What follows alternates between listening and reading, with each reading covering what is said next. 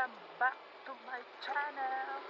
And isang magandang magandang magandang morning. Very very good morning. Time check. 3.58 a.m. And I'm on my way. Wow. Ah, pabalik na Kalibo. Magpo 4 today's video ay ititest natin yung Akaso Pro natin sa night mode. Nasa 1080p frame per second pa din. Off. Nag-external microphone tayo. So, sa ngayon is nasa night mode. Kahit morning na, naka-night mode. Try natin sa low light. Medyo okay naman ba siya? And, kung ilang oras itatagal ng kanyang battery. So, abangan sa pagtatakot ng video. Ang resulta. And sa muli, maraming salamat sa mga nag-subscribe na and sa mga hindi pa nakapag-subscribe. Don't forget to click the subscribe button and yung katabi niya ang notification para updated ka sa mga next ko pang video. Let's go!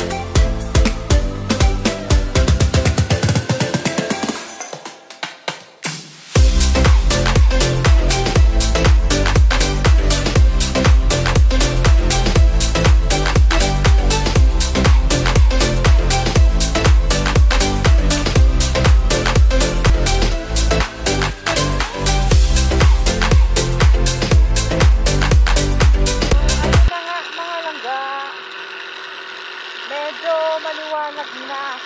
Di tulad kanina. Uh, malabo. Parang malabo kang maging crush ng crush mo. Joke lang.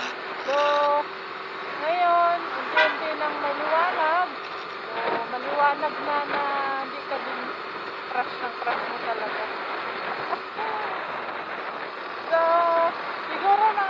30 minutes pa. And may one bar pa yung action cam.